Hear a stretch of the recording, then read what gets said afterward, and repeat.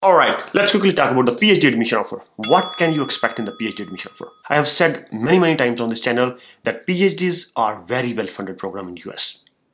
Is that really true? What you can actually get in PhD offer? Let's find out. I'm going to show you the proof. But before that, we all are going to hit the like button. Thank you. You guys are amazing. And just a reminder before I get onto the topic, we are currently enrolling students for our online course Admission 102 for the fall 26 cohort.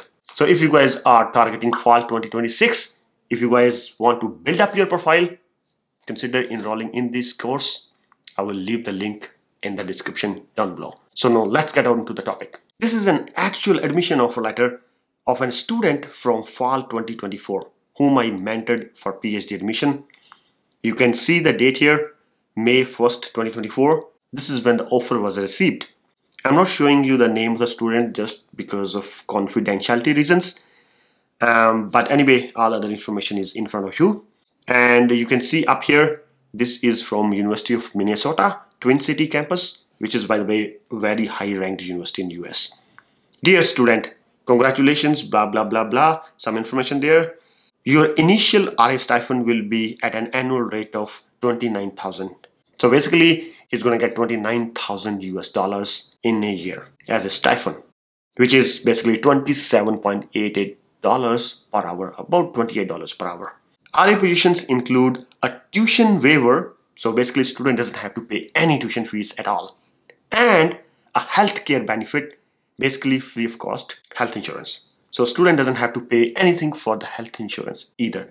I just want to add a point here. All the students who come to US on F1 visa as a student, they have to buy the health insurance and that's mandatory and that's quite significant cost. So if you get a PhD position, that cost will also be taken care of by the university. And on top of that, the student will be earning $28 per hour, which will take care of the majority of the you know day-to-day -day living expenses. Actually, not majority of the expenses, but all the living expenses. In addition to your stipend, you will also receive $4,000 in professional development account that you can use towards appropriate professional development activities like you know if you want to attend a conference or attend some seminars or some trainings etc which is related to your field. So $4,000 extra in the professional development account. This is the actual PhD offer this is what you can expect and by the way these students only got partial like 50% stipend in the first year.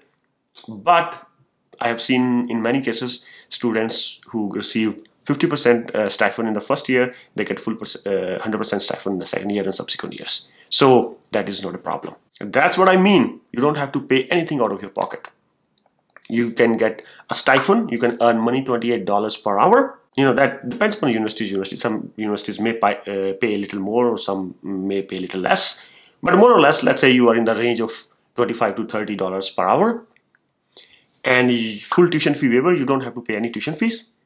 On top of that a free health insurance which is mandatory by the way right? So it is all covered.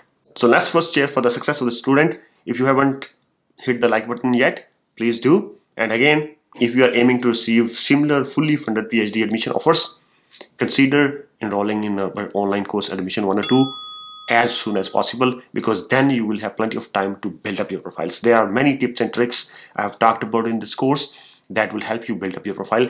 By the way, building profile takes time. So the, the earlier you enroll, the better position you will be in when it comes to uh, you know applications. So that's all for today. Take care. Bye.